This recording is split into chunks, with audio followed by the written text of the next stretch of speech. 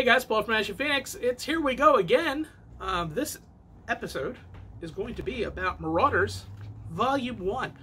Um, not Dawn of X Volume 1 slash Volume 2 slash Volume 3 slash Volume 4 slash Volume 6. So you really need to get six Dawn of X titles to get everything that you can get just to this book.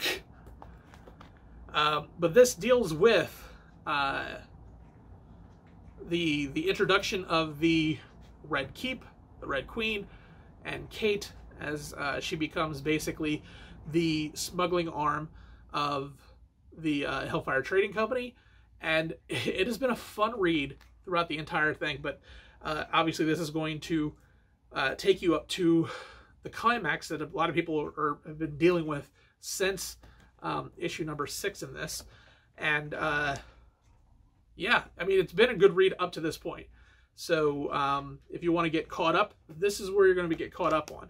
You're going to get to see um, a lot of the political intrigue, a lot of fun uh, piratey stuff with Kate being a pirate, um, being stuck on the outskirts of uh, Krakoa with the rest of uh, humanity, and uh, how she kind of comes to uh, to come into her own, and uh, where that goes wrong.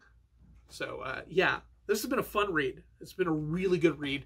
Uh, it make me it's made me love Emma. Uh, it's made me love uh, Kate more than I already do.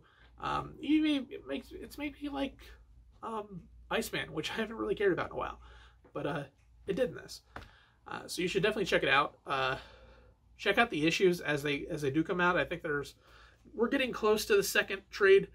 We might already be at the second trade, but um, I guess Marvel's deciding they want to do that Dawn of X stuff um, forever and ever, even though most of those titles don't even really crisscross anymore. Um, but they, they found a cash cow, and that's what they're going to be doing. But um, I would say just wait for uh, the trades if you if you need to get caught up. Uh, this is a good one to check out. Grab it. And that's pretty much it, guys. Thanks for watching. Don't forget to like our regular weekly uh, stuff that comes out. And also don't forget to uh, check out our gaming channel. And uh, yeah, we'll see you next time.